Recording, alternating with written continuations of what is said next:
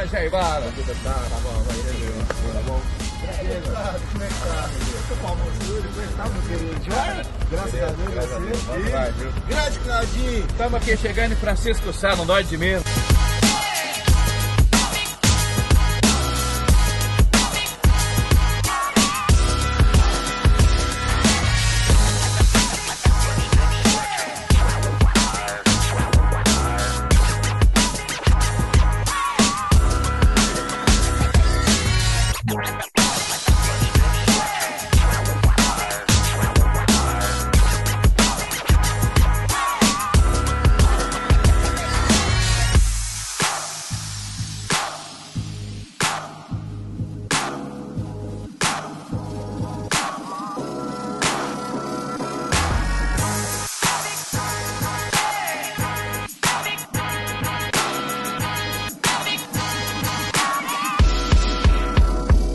Bom dia, amigos, meus conterrâneos aqui de Francisco Sá.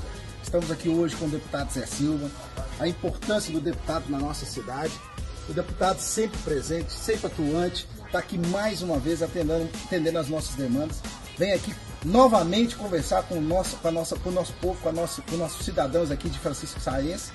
Obrigado, deputado, pela sua presença. Seja sempre bem-vindo. Está aqui hoje na Escola Donato Santos com o nosso diretor Elcio Gonçalves. É, também agradeço né, pela oportunidade de você estar aqui na nossa escola, observando, acompanhando de perto aí as nossas necessidades e com certeza trazendo benefícios e atendendo as nossas demandas. É um prazer recebê-los aqui. Adeus, Jair Bala, Igor. Pois é, a Escola Donato Santos já tem uma história aqui com vocês.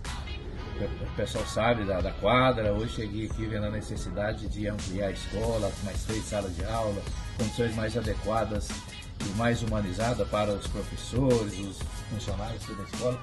Pode ter certeza que eu vou levar isso para o governador Romeu Sema, para o secretário de Educação e vamos trabalhar juntos aqui. Valeu, gente.